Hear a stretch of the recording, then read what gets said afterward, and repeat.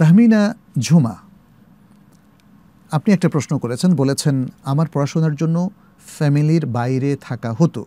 একবার বাড়িতে আসলে মায়ের সাথে রাগারাগি হলে রাগবশত আল্লাহর নামে কসম করেছিলাম যে, আগামীকাল আমি আমার জায়গা চলে যাব।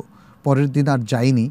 কারণ যদি আমি চলে যাই, মা আমার প্রতি অনেক মন খারাপ করবে। এই কসমের জন্য কি কাফফারা দিতে হবে? যদি দিতে হয়, কীভাবে দেব? আচ্ছা প্রথম কথা হচ্ছে যে, মায়ের সাথে রাগ করা এভাবে এটা উচিত হয়নি।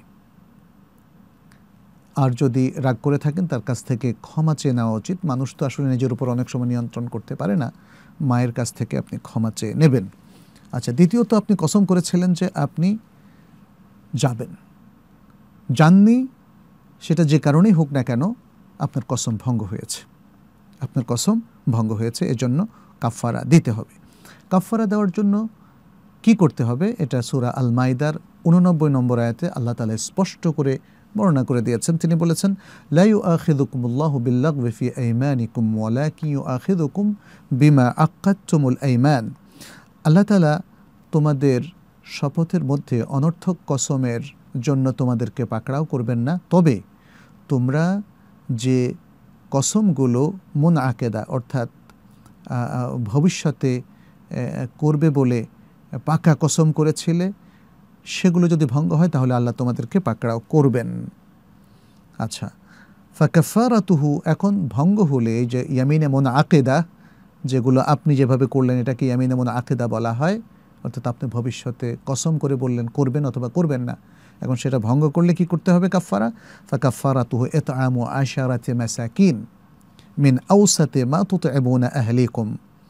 এর কাফারা হলো আপনারা আপনাদের পরিবার, পরিজনকে যে ধরনের মধ্যম ধরনের খাদ্য খাইয়ে থাকেন, সেরকম মধ্যম খাদ্য থেকে দশজন মিসকিনকে খাওয়ানো। এটা আল্লাহ তালারই কথা। এত আমো আশারাতে মাসাকিন।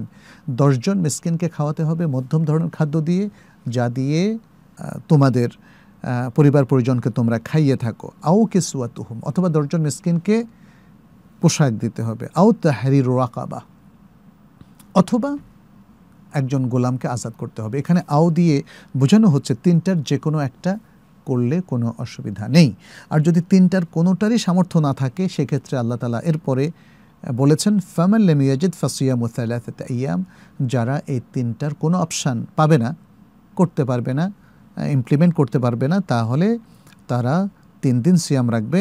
দায়ালিকা কাফারাতু আইমানিকুম ইদা হালাফতুম এ হচ্ছে তোমাদের শপথের কাফারা যখন তোমরা হলফ করে থাকো, শপথ করে থাকো ওয়াহফাদু আইমানাকুম, তবে তোমাদের উচিত হবে তোমরা যেন তোমাদের শপথকে হেফাজত করো, তোমাদের শপথকে রক্ষা করো এবং তোমরা তোমাদের শপথকে রক্ষা করো।